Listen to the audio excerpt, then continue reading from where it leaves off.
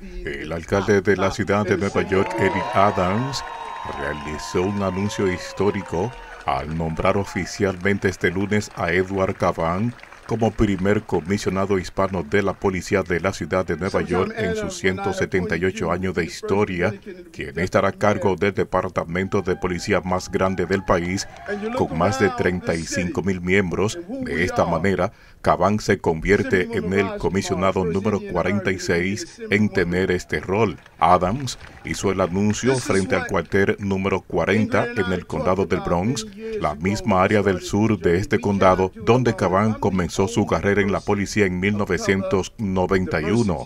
Caban, un veterano que ha dado 32 años en la policía de Nueva York, ha servido en varios recintos en los cinco condados, donde ha operado casi todos los puestos dentro del departamento de policía. Como policía, sé que representará con honor al departamento, entendiendo de que se puede siempre construir mejor relación entre la policía y la comunidad cuando la comunidad apoya a los policías y los policías también valoran el trabajo de nuestras comunidades. Eddie Cabán también, no solamente puertorriqueño, pero también su esposa es dominicana. O sea, yo sé que es una persona que va a estar trabajando por todos los neoyorquinos, pero también va a elevar el nombre de nosotros como latinos en general, eh, que somos el segundo grupo más grande de esta ciudad, somos el 28%.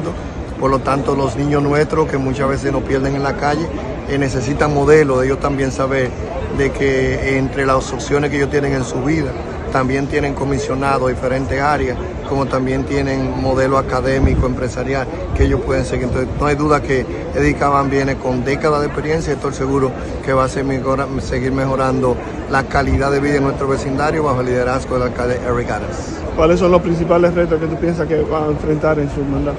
Nueva York es la ciudad que tiene más congestión en el país completo y no es lo que tiene más congestión a nivel mundial. Es un lugar donde nosotros recibimos personas de todas partes del mundo. Venimos lo que venimos a trabajar, pero también vienen personas que vienen eh, con una determinación de hacer actos delictivos. También una ciudad que como tenemos la gran mayoría que trabaja, personas que también eh, eh, están en su trabajo dedicado todo el tiempo, tenemos una gran población de nuestra ciudad, incluyendo personas de nuestras familias que tienen también enfermedades mentales que necesitan ayuda.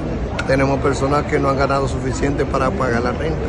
Tenemos un sinnúmero de casos de abuso sexual, de violencia en esta ciudad por generaciones, unas raíces que se necesita un alcalde como Eric Adams, estar acompañado con alguien como Eric Caban, con una determinación de invertir más en la prevención y asegurarnos de que la prioridad se vaya, se ponga a ir detrás de lo que son los criminales directamente.